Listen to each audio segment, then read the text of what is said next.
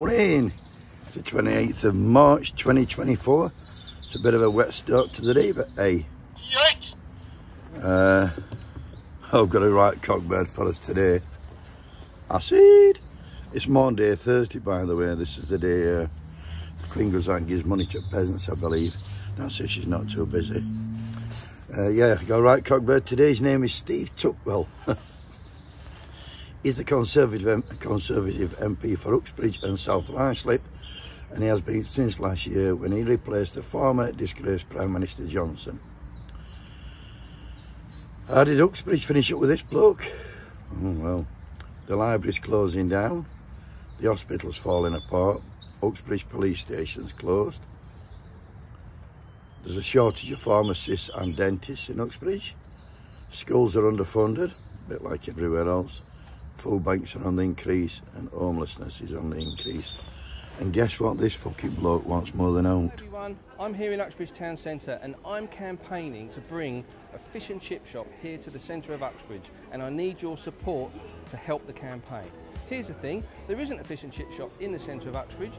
There is on the outskirts, there is in Cowley and there is on St Andrews, but we need to bring one home here to Uxbridge Town Centre. It will support our high street, it will support business, it will help the local economy. So please join my campaign. The more people we get to support this, the more it will attract investment and it will attract business to the centre of Uxbridge.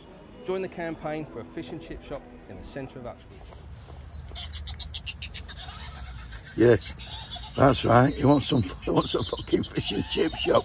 That should fucking sort it, shouldn't it? Get some fucking fish and chips on high street. No, they call him fucking Tuckwell. He looks like Gatesville to me. Anyway, uh, I'm surprised they haven't fucking blame Labour for not having one. Why not blame Keir Starmer folks for he's not having a fish shop? It's their fucking fault. What we do need is a Minister for Fish and Chips. That could have been fucking Gullis's job, that. It'd have been ideal for that. Uh, it's the sort of stuff, though, this, you know, fish and chip shop in the high street.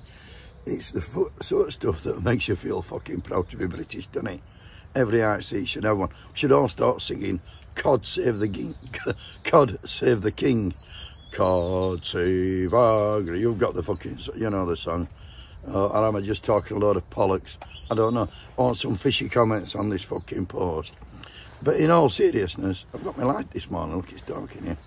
Uh, in all seriousness, though, what you were doing, the cheeky fucker, you were data harvesting getting emails and addresses so they can bombard you with fucking Tory fucking propaganda before the next election. Wakey, wakey! Fucking Steve Tuckwell, fuck me gently.